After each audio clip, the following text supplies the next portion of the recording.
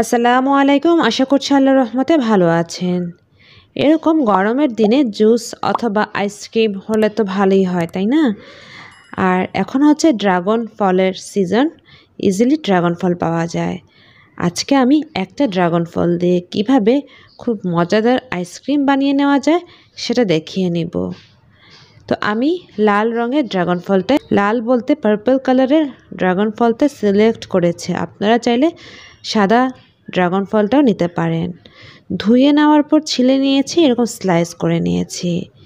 আর আজকে আমি আইসক্রিম বানাবো একটা ড্রাগন ফল দিয়ে।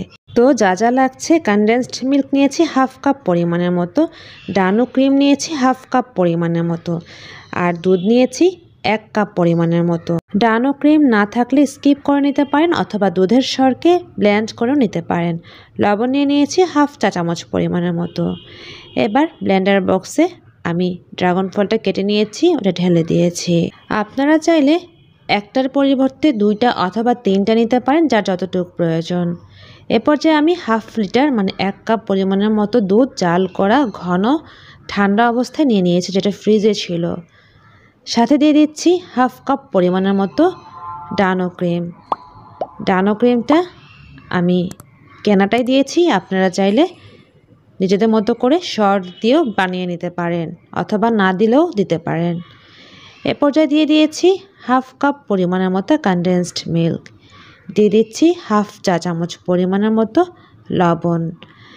এখন বলে নিচ্ছি আমি যেহেতু চিনি দিচ্ছি না, তাই আমি কনডেন্সড মিল্কটা ওভাবে দিয়ে নিয়েছি। আপনারা চিনি যতটুকু খাবেন অতটুকু দিয়ে নেবেন। লেবু দিয়ে দিয়েছি এক টেবিল চামচ পরিমাণের মতো। কাঠবাদাম দিয়ে দিয়েছি এক টেবিল চামচ পরিমাণের মতো। এরকম বাদামও দিয়ে দিয়েছি। তো এখন আমি এটাকে ব্ল্যান্ড করে নিয়ে নিয়েছি। দেখতেই পাচ্ছেন ব্ল্যান্ড করার পর ঘনত্বটা একটু চেক করুন। ঠিক এরকম ঘনত্ব হতে হবে। আমি একটু চামচ দিয়ে আপনাদের দেখাচ্ছি দেখুন। এরকম ঘনত্ব হলে আইসক্রিমটা পারফেক্ট হয়।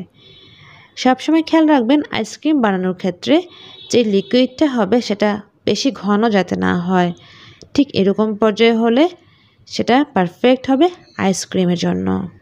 খুব সুন্দর কালার হয়েছে, তাই না? তো আইসক্রিম মল্ট নিয়ে নিয়েছি এরকম, আপনারা চাইলে কাপেও বানিয়ে নিতে পারেন। এখন আমি আইসক্রিম বক্সে ড্রাগন ফলের জুসটুকু ঢেলে দিচ্ছি। তার আগে অবশ্যই চেক করে নেবেন চিনির পরিমাণটা কে কীরকম খাবেন। যেহেতু আমি চিনি দেইনি, আপনারা চাইলে চিনিও দিতে পারেন অথবা কনডেন্সড মিল্কও দিতে পারেন। তো এখন মলটাকে একটু উপর থেকে নিচ পর্যন্ত ছেঁকে নিচ্ছি, যেটা করলে স্মুথ একটা ভাব নিয়ে আসবে আইসক্রিমের এখন লিডগুলো দিয়ে দিচ্ছি। আপনারা যদি কাপে অথবা অন্য কোথাও এরকম বানাতে চান, সেক্ষেত্রে ফয়েল পেপার উপরে দিয়ে একটা আইসক্রিম স্টিক উপরে দিয়ে দিলেই হয়ে গেল। বাট আমার রেডিমেড মল্ড ছিল আইসক্রিমের আমি ওটাতেই করে নিয়েছি। ফ্রিজে রেখে দিয়েছিলাম সারা রাত, বারো ঘণ্টা। বারো ঘণ্টার পর আমি ফ্রিজ থেকে নামিয়েছি এখন। এখন খুলে দেখাই কীরকম হয়েছে। অবশ্যই অনেক সময় লাগে আইসক্রিম বানাতে। ফ্রিজ যদি বারবার খোলা হয়, সেক্ষেত্রে কিন্তু আইসক্রিম জমতে টাইম নেবে। তো ওভাবে করেই আপনারা রেডি করে নেবেন। আমি একটু ঠান্ডা পানিতে রেখে মল্ট থেকে বের করে নিয়েছি তাই একটু গলে গিয়েছে।